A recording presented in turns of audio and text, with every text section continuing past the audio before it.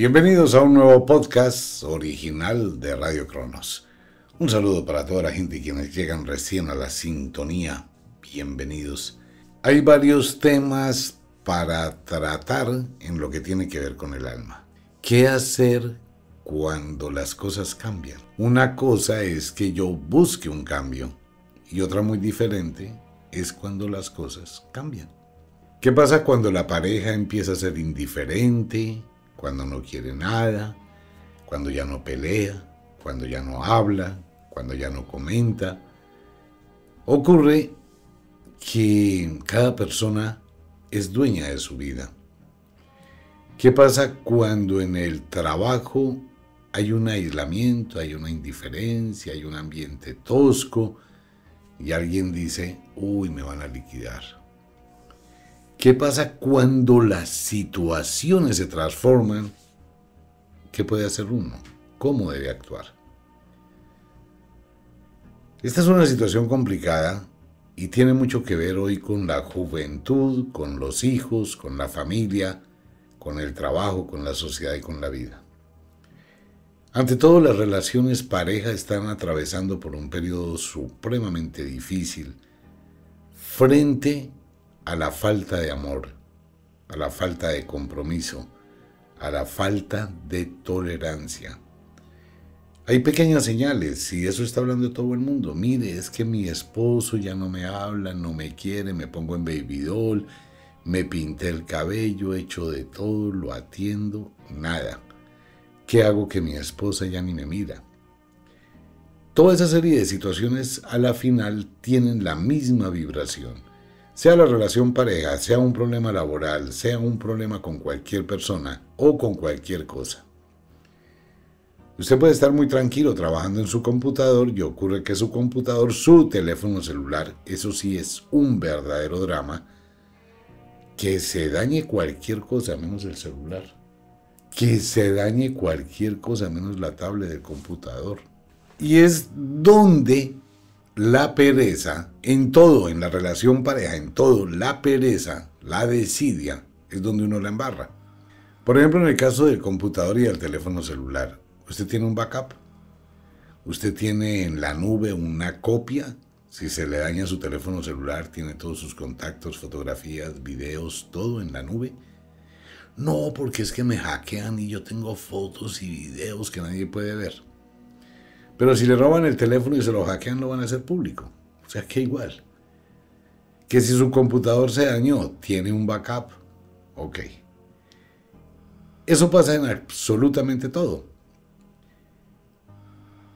Cuando las cosas empiezan a dar señales del cambio, uno no las ve.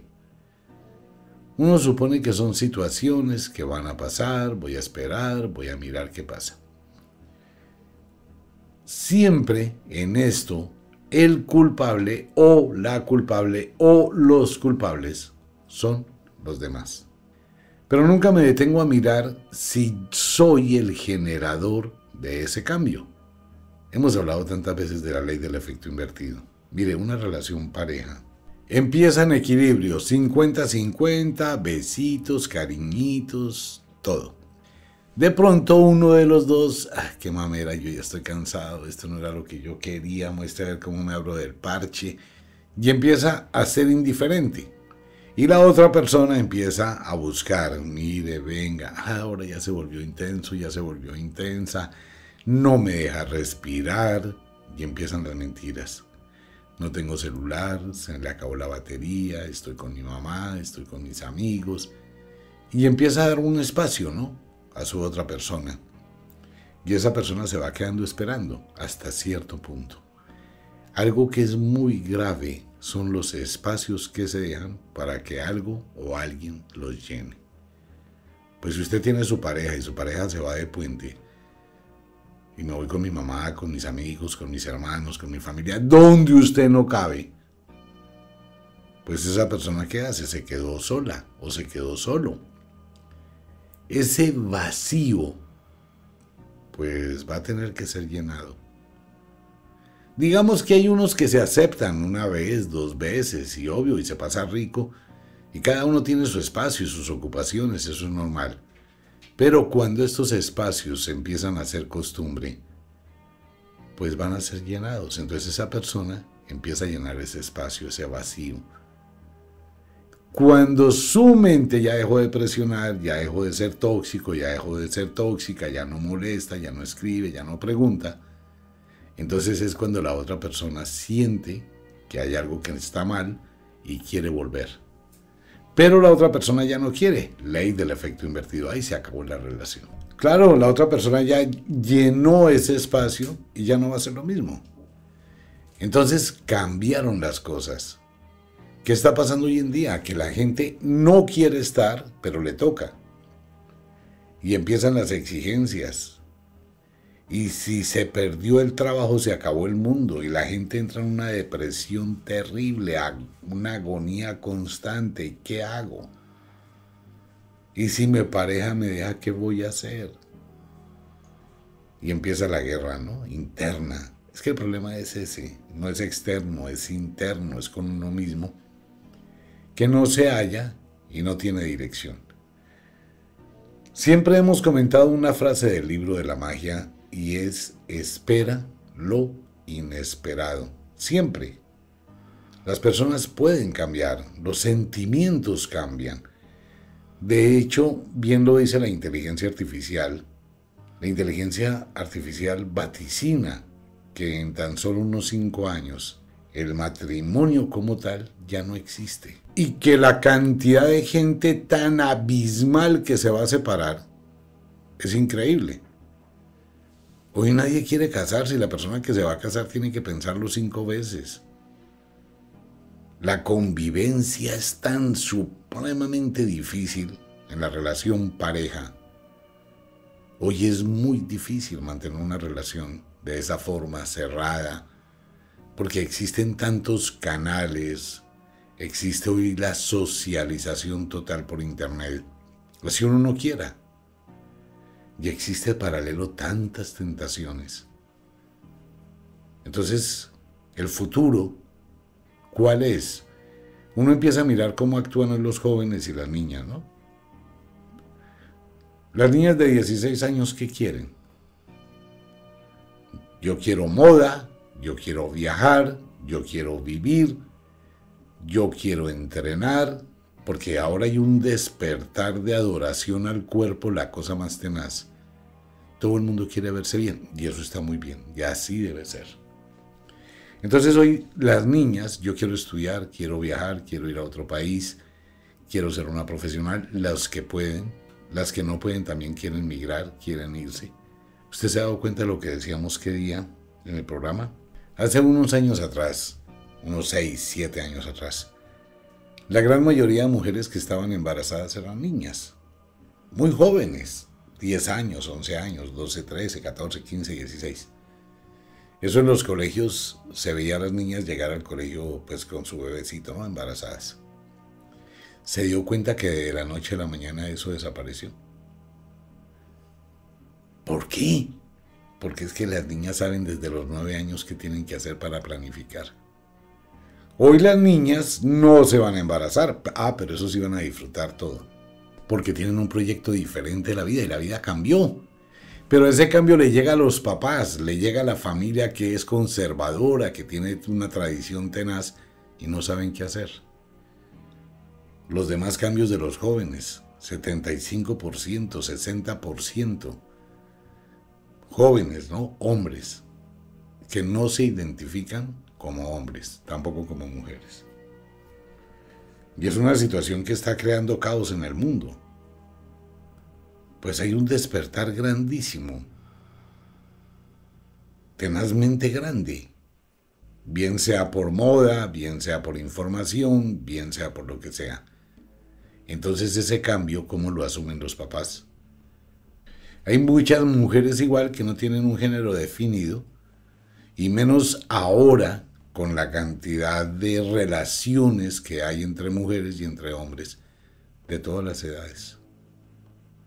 Eso es libertad y hay que aceptarlo y no es solamente aceptarlo como con esa resignación, no, es de comprender que cada persona es libre de su piel hacia adentro.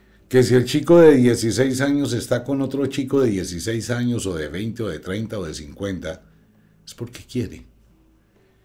Que si la mujer está con otra mujer, es porque quiere. Que si el hombre está con un hombre y con una mujer, es porque quiere. Y es su vida. Y eso hay que respetarlo. Y a la gente no le gusta. Usted quiere imponer lo que usted considera desde su punto de vista que deben ser las cosas. Que mi hija no se separe. Que mi hijo no se divorcie. ¿Qué va a pasar con los niños? ¿Qué va a pasar con la familia? La familia se acabó hace muchos años. No podemos definir familia como un infierno constante de violencia intrafamiliar, de ausencias, de desgaste mental, de ser reos prisioneros de la casa.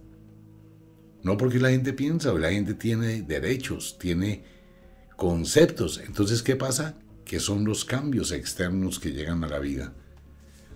¿Uno está preparado para ello? No. Hay que prepararse para eso. Y esto no es nada para lo que viene. Pero por favor, mire, es tan grande la apertura que hay a la libertad del ser humano que por más que las redes quieren minimizar, no pueden. En este momento hay campeonatos en TikTok, estos campeonatos virales que la gente tiende a copiar, ¿no? Hazañas. ¿Se ha visto las últimas hazañas que hay en TikTok? ¿Cuál es la hazaña? La niña que va caminando por un centro comercial, eh, su compañerita, su novio, un amigo, una amiga, quien quiera que esté ahí, y la empieza a filmar y lo que hace la niña es subirse la faldita y bajarse los interiores y quitárselos. Y se los tira al otro. O a la persona que lo esté filmando. Eso es viral, que es lo que están haciendo, sin importar la edad. No estoy cuestionando a nadie, ni soy moralista pues si lo quieren hacer, hágalo. Las otras que están mostrando con un vestido transparente toda su intimidad, eso le gusta, hágalo. Pero ¿qué es lo que pasa con esto?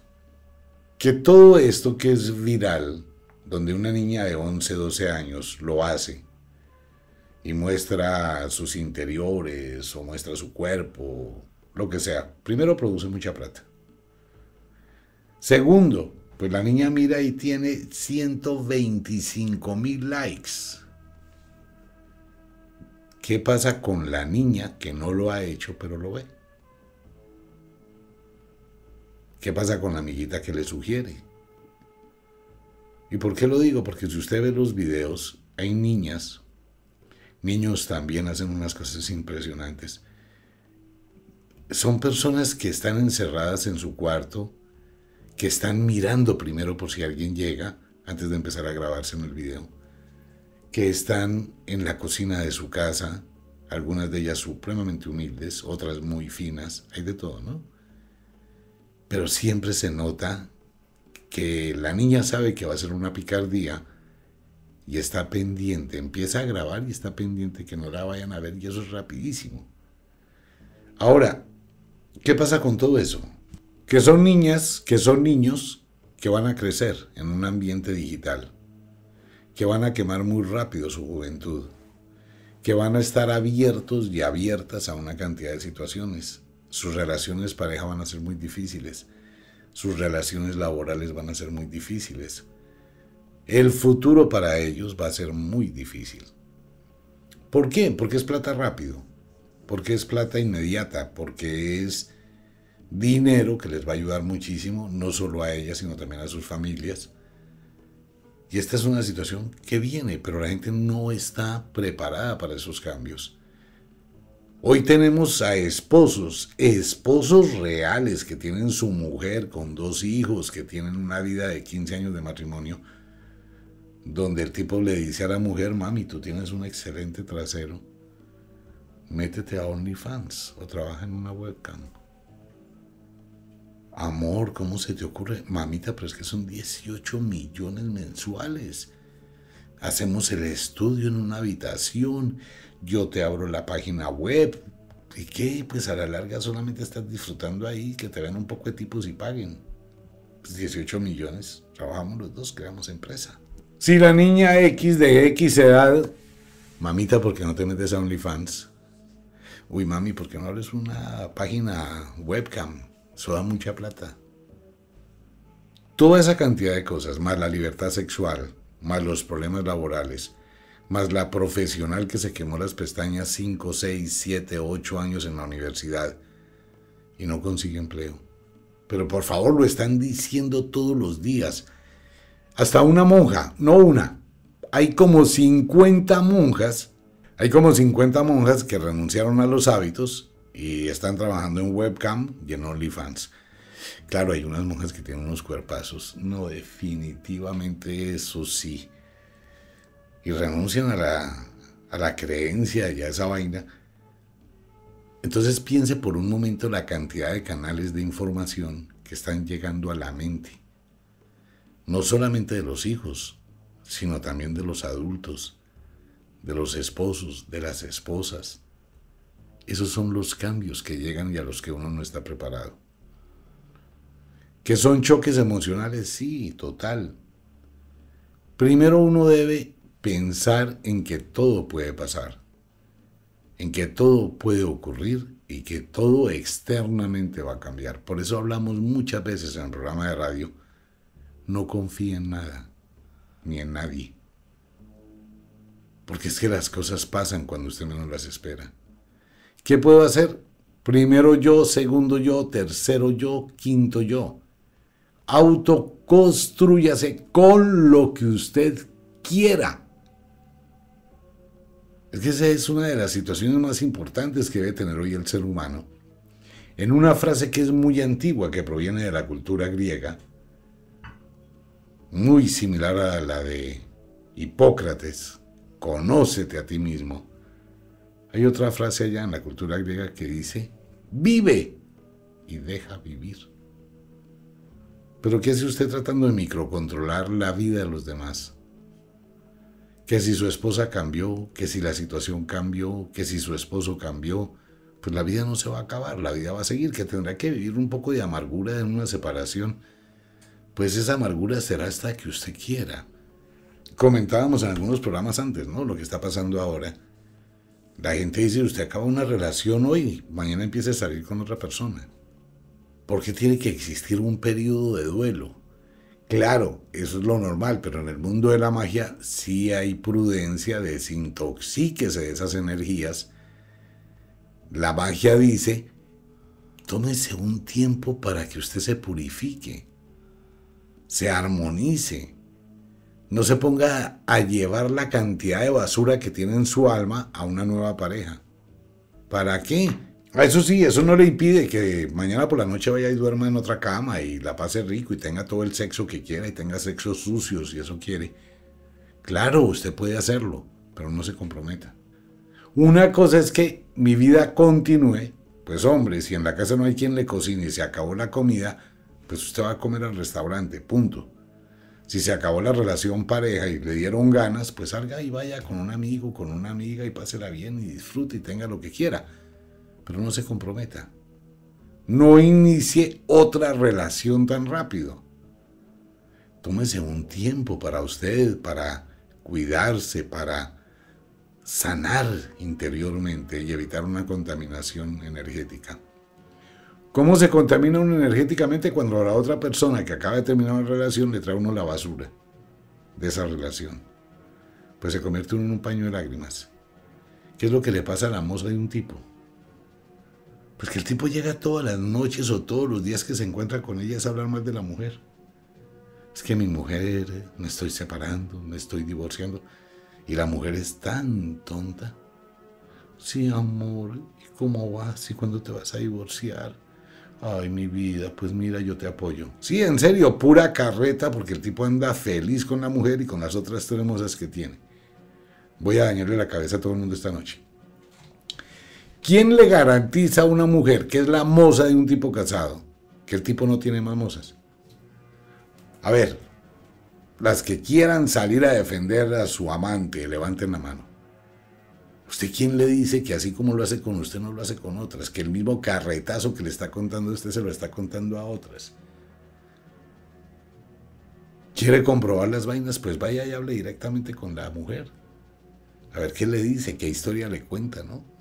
Hay muchos señores que van a decir que no sea sapo, siempre me lo han dicho. No lo tome así, que lo único que pasa con esto es abrir los ojos. Y lo peor que puede existir en el mundo es que un hombre se meta con una mujer casada. Y le empiece a creer, ¿no? Esa sí que es todavía más olímpica. Pues sí, una mujer que está casada, que tiene sus hijos y empieza a tener un amante, y le empieza a contar historias de vaqueros al amante, y le va a decir que se va a ir con él, y que no sé qué, y que va a abandonar su familia, y que sí sé cuándo. Porque eso nunca funciona. Porque después de que se van a vivir dos amantes, o el hombre se va a ir con la moza, o la mujer se va a vivir con el mozo, que fue su amante mientras estaba casada, y él casado, ¿usted sabe cuál es el infierno que les espera? Pues todo el mundo sabe toda la sarta de mentiras que tenían que inventarse para irse a ver. Y cuando eso pasa, al cabo de unos cuatro meses de convivencia, si uno de los dos llega tarde, el otro que supone que estaba haciendo. Claro, porque ya tienen experiencia de lo que han vivido, ¿no? Eso es una tortura, una vaina muy soba. Entonces el mundo cambió, amigo mío, amiga mía. ¿Qué queda que usted no ha cambiado? ¿Y qué le queda hacer? Adaptarse al cambio esperar lo inesperado, sin lastimarse, sin acabarse, sin considerar que el mundo se detuvo. Cuanto más tiempo pase ante una situación adversa, más va a sufrir. Si usted, señor, señora, tiene en este momento hijos cuya identidad sexual no es definida, por favor deje de juzgarlos, de pensar que es una enfermedad, respete su libertad y apóyelos. Hable con ellos como un amigo, como una amiga. En serio, si usted ve que su relación pareja está entrando en crisis, busque la forma de dialogar con su pareja, de mirar qué cosas están pasando y qué cosas se pueden modificar, qué se puede cambiar. De lo contrario, piensen en una separación así sea temporal, pero con altura. Si usted está observando que tiene problemas laborales, Estudie, capacítese, busque el plan B, mire otras opciones, pero siempre esté pendiente que las cosas pueden pasar. Si tiene su teléfono celular, tenga un backup de la información que allí conserva. Si tiene su computador, tenga un backup en la nube de la información que allí tiene. Si tiene su automóvil, llévelo a mantenimiento. O sea, en otras palabras, vaya un paso adelante. Prepárese para los cambios que vienen para el mundo, porque son cambios que la gente no está preparada. Cambios que sorprenderán, cambios que despertarán inquietudes, cambios que sacudirán el espíritu. Si se ha dado cuenta de la cantidad de personas que hacen comentarios de la Biblia, de la religión, que Dios no existe, igual que todo. Y muchísima gente, los felicito, están leyendo la Biblia y van sacando apartes violentísimos, sucios, cochinos que tiene la Biblia y que la gente nunca ha leído y los van haciendo públicos para que la gente despierte. Y los van haciendo públicos para que la gente despierte. Entonces todo eso sacude el alma. Ahora, papás, venga, les cuento una pequeña historia. Hágase un cursito de cómo se maneja un teléfono celular. ¿Por qué? Porque las niñas y niños son los dos, ¿no? No voy a hablar de los videos que aparecen de los niños porque es una cuestión supremamente incómoda. ¿Qué pasa con los papás? ¿Qué, ¿Qué, dice la niña de nueve años que se toma un video mostrando los cucos? ¿Qué dice ella? ¿Por qué no le da miedo? Porque es que en mi casa ni mi papá, ni mi mamá, ni mis abuelos saben manejar un teléfono celular ni tienen internet. Ella es consciente que muy difícilmente se van a dar cuenta. Pero los papás deben aprender no para castigar, limitar, prohibir, condenar, sino para educar.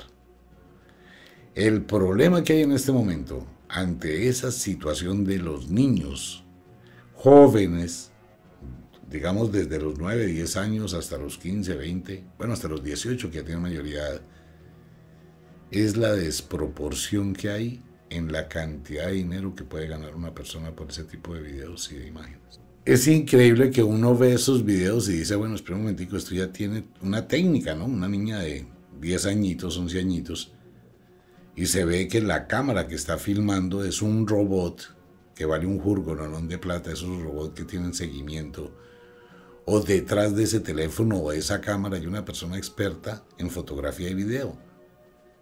O sea, hay un adulto detrás de ese niño, detrás de esa niña, que está actuando. Todos esos son cambios.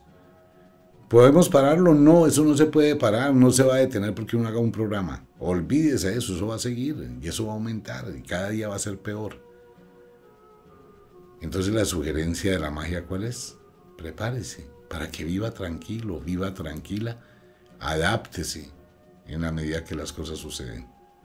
Tenga paz en su alma, comprenda, entienda que existe la libertad de los seres humanos, que nadie puede imponer un concepto sobre nadie, que si ve a dos niños dándose un beso con lengua, la cosa más apasionada, mire para otro lado. No se ponga a culpar, a juzgar, a condenar. No los irrespete, no viole su intimidad filmándolos y tratando de subirlos a Facebook. Que si vio a dos niñas dándose un beso apasionado, pues, pues mire para otro lado, respételas. Ese es el mundo que ha cambiado. Que si su pareja tiene problemas, se quiere ir, hágalo con altura que si su trabajo está mal, estudie. Que si a usted le llama la atención aventurarse en cualquier cosa, quiere volverse modelo de OnlyFans, pues usted quiere hágalo. Y si lo hace bien hecho, pero es que por favor 85 millones mensuales, eso es plata, conste. No estoy invitando a nadie a nada. Solo es el respeto, la libertad de lo que la persona quiere que la niña dice, venga, yo trabajo todo el día en una oficina y por la noche puedo montar una cámara de webcam en mi apartamento y me puedo ganar, no sé, dos millones de pesos. Pues si usted quiere, hágalo. Su vida, su cuerpo. ¿Quién puede decir no? ¿Quién puede decir que eso es correcto o no es correcto? Es como mis palabras, usted no debe decir eso. ¿Qué quiere decir? ¿Que le diga a la gente que no lo haga porque es pecado? ¿Que tenemos que volver a la época de la inquisición y que quien no piense como yo se muere? ¿En serio? No, la gente es libre y soy y le hago apología a la libertad. Por eso invito a reflexionar, a que haya un cambio de actitud hacia adentro y un respeto total por la libertad de otro ser humano. Si es mi hijo, lo respeto y respeto su libertad. Si es mi hija, respeto su libertad. Si es mi esposa, respeto su libertad. Si es mi esposo, respeto su libertad. Si lo quiere hacer, hágalo. Si lo va a disfrutar y le gusta, pues sígalo haciendo. Los cambios, amigo mío, no son los que hay adentro de su corazón. Los cambios es un mundo increíble de proporciones inimaginadas que viene en camino. No se escandalice, Prepárese a comprender lo que se llama el verdadero sentido de la libertad. Que si alguien quiere fumar marihuana y drogarse, pues es su deseo, hágalo. Lo que pasa en eso es que nadie puede tener jurisprudencia de la piel hacia adentro. No pueden ni deben existir leyes que limiten lo que usted quiere con usted mismo. No hay forma, ¿no? Pero ese es un tema que vamos a seguir hablando y que hay que pensarlo con cabeza fría y si usted analiza, así como usted tiene también muchas cosas y de pronto tiene una forma de vivir su vida que otras personas le pueden criticar, cuestionar, condenar, y usted dice, pero ¿por qué si es lo que a mí me gusta? A mí me gusta vivir sin ropa interior porque me encanta sentirme libre, pero a las demás personas le afecta, le molestan que yo sea así. A mí me gusta el cabello de tal forma. A mí me gusta pintarme de tal forma. A mí me gusta comer tales cosas, pero a la otra gente le molesta. Si se da cuenta, usted también tiene lo suyo y espera que los demás comprendan, entiendan que es su libertad. Y además, Todo el mundo tiene un cuarto oscuro en el interior de su mente. La ventaja del oráculo es que yo tengo las llaves de todos. No hay ningún problema porque cuando una persona comprende y entiende no juzga a nadie, no condena a nadie, no destruye a nadie. Usted también puede tener esa llave y se llama comprender la libertad del otro. Disfrute el fin de semana. Pásela bien. Chao. Voy a obsequiarle el libro ¿Por qué le va mal? Y a esto súmele. Le voy a obsequiar el aceite del helecho macho para darle toda la suerte del mundo para que le vaya muy bien. Por cualquier compra en Wicca. Así de simple. Hasta agotar existencias. Es un regalo para todo el mundo. Ahora bien, recuerde que existe la ley de la compensación. Algo por algo. Cierto, en la vida no puede ser gratis. Pero esta vez vamos a hacer algo por algo, pero con su conciencia. Solo si usted considera que ese libro hizo algo por su mente, por su alma, usted debe, como contraprestación de la magia, obsequiarle un libro de esos a una persona que conozca. No el suyo, uno. ¿Por qué le va mal a su hijo, a su hija, a su esposo, a su esposa, a un compañero de trabajo? ¿Qué es lo que pasa? ¿Qué es la semilla del helecho macho? Una semillita del helecho macho se multiplica por miles. ¿Qué le va a decir la persona? Gracias. Y va a cambiar una vida y esa energía se multiplica. Y le dice lo mismo. Yo le regalo este libro a usted. Si ese libro le sirve para algo, regálele uno a otra persona. Eso es la ley de la compensación. ¿Qué es lo que hacemos con esto? Que usted esté bien, que a usted le vaya bien, que todo crezca. Y si este libro puede modificar en algo su vida, puede ayudarle a comprender por qué le va mal y puede reorientar su vida, su destino, su futuro, pues habrá valido la pena hacerlo. Si el libro lo sacude, de verdad lo sacude. Le hace ver una cantidad de cosas que usted a veces piensa que no eran y se da cuenta y le ayuda a corregir. ¿Por qué? Porque usted empieza a tener un monólogo consigo mismo. Básicamente el libro es un guía que le empieza a mostrar un sendero hacia adentro de usted. Lo transforma. Y le va a enseñar una cantidad de cosas que usted no imagina. Esa limpieza interior es la que le permite estar predispuesto para afrontar la vida y el futuro.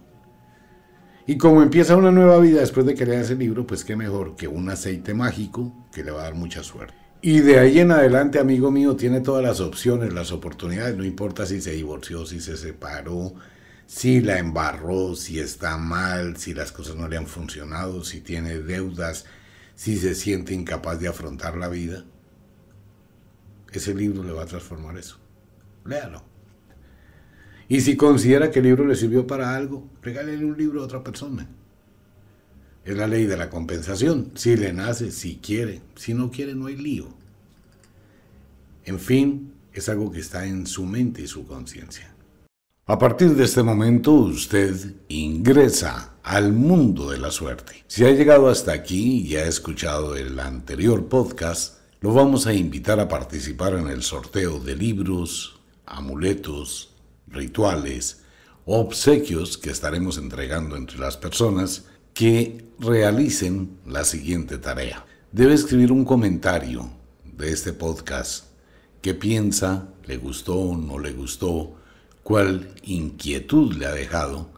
Fuera de eso debe reportarnos el lugar donde usted se encuentra, la ciudad, el país, etc y como final debe agregar el emoticon del trébol de cuatro hojas. De esta forma entrará a participar en los sorteos que haremos diariamente de libros, rituales y de los productos de Wicca, sin importar el lugar del mundo donde usted se encuentre. Es una oportunidad para participar, tener acceso al mundo de la magia. Bienvenidos.